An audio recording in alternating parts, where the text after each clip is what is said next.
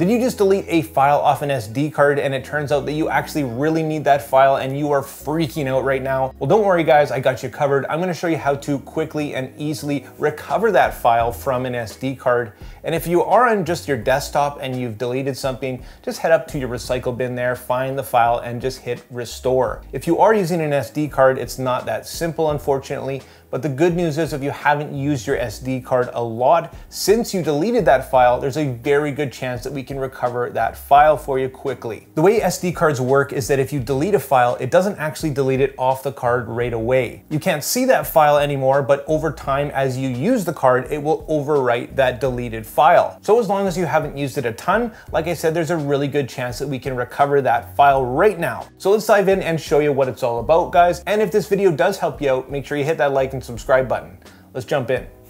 Okay, so check the description for your download link to the Recuva software. You can find it on the CCleaner website, and I've used CCleaner for years to just clean up my PC, so it is a legit program. And there is a free version, but of course there is a paid version as well, so if you do feel like supporting the software, then you can go ahead and do that. But for this video, just download and install the free version. Once it's installed, you'll see the Recuva icon. You can double click that to get going. Then you'll be prompted by a wizard here, and you can pick which type of file that you are looking for. You can do all files here, of course, but if you wanted to save some time and you know that in this case it's a video file, well, hit the video file button and click next.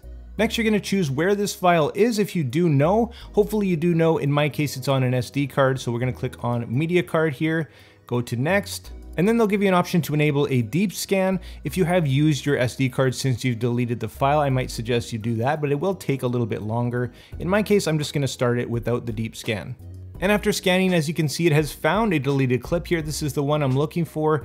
You can see when it's modified, you can see the file size and its state. You can see that it hasn't been overwritten, so it's probably not gonna take too long and it's got a very good chance of recovery. So go ahead and check the box and then hit the recover button. From there, you can actually pick where you want it to recover to if you wanna throw it on your computer or even back on the card. In this case, I'll throw it onto my C drive down here and then press OK and it will do its thing. And just like that, in a few seconds, life is good once again. So there you have it guys, really simple, really easy to use, and I really hope that it helped you out. Make sure you hit that like and subscribe button if it did, and we'll see you in the next video.